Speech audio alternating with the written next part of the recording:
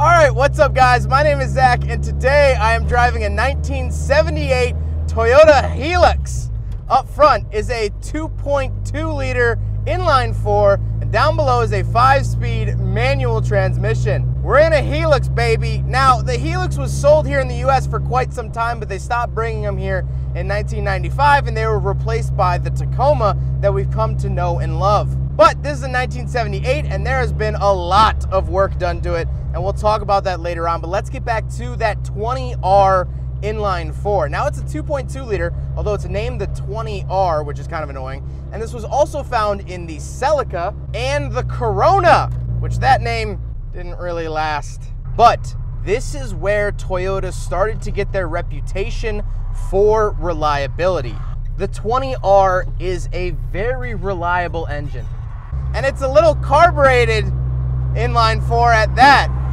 It makes a great noise. I love it.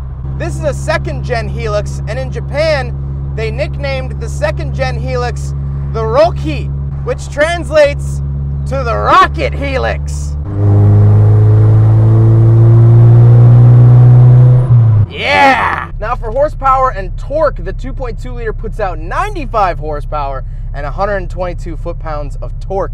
However, in 1978, that actually went down to horsepower. So if you got a 1977, you got 97 horsepower. But me, I have to deal with only 95. I don't know how I'm managing. Now, like I said, paired to it is a five-speed manual transmission, which was like the top dog option. Getting a five-speed manual in a Hilux in 1978 was a big flippin' deal. But this is the SR5, so of course they got the best.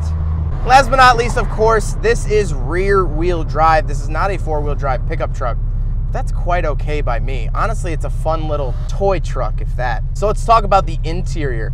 Well, in front of me, I have two main gauge pods, I guess. On the left is my fuel and temperature, and on the right is my speedometer.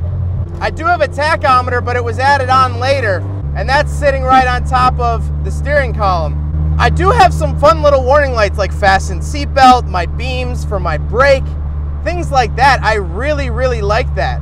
To the left of me, I have my hazards. They're a pull-out. And then I have my lights, which is again a pull-out. Very, very 70s, very basic. Now to the far left, I do have a vent. Now, this truck originally did come with air conditioning. Like I said, SR5 package was kind of the top dog, but these are not for the air conditioning and cooling. This is for the air outside. There are vents on the outside that just bring air in. That's all they do. It's kind of the poor man's AC. To the right of me, I do actually have a radio, which would get AM and FM. Can you believe that? I have a nice SR5 badge. I do have my heating and air conditioning controls, cigarette lighter, and then some added gauges down below. These are not factory but they are useful.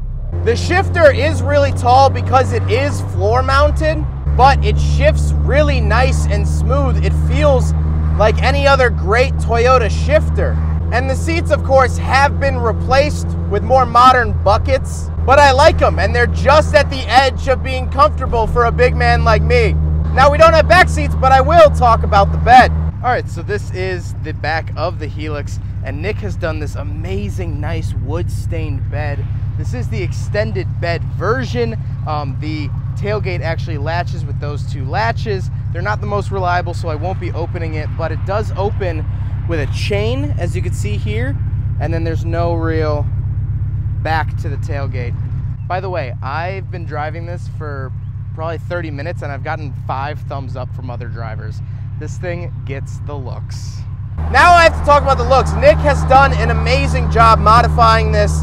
It's a D-Max hood off of an FC RX-7, the vent that is, that was actually molded into the factory hood for the Hilux. I'm gonna shut up now. I'm just gonna get some glamour shots because this thing is a beautiful, beautiful truck and Nick has done an exquisite job on it.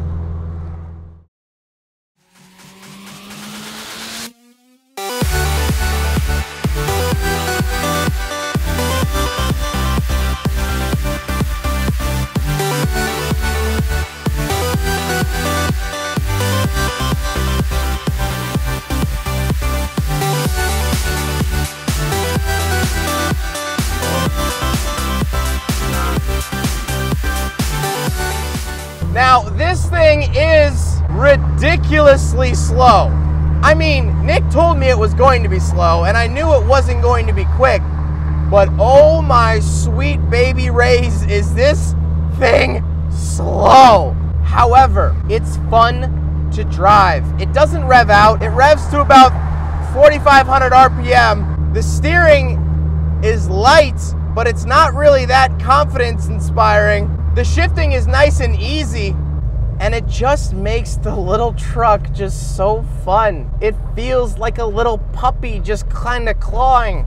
There's an idea out there about how it's more fun to drive a slow car fast than a fast car slow. And while I mostly agree, I would like to add a third option of the joy of driving a slow car slow. Because this thing is ridiculously slow.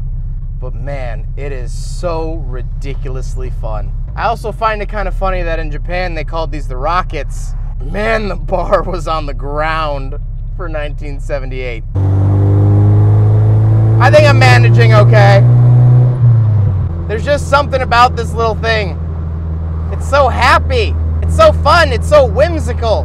And I love carbureted inline fours. When I think of carbureted inline fours, I think of the inside of a wristwatch.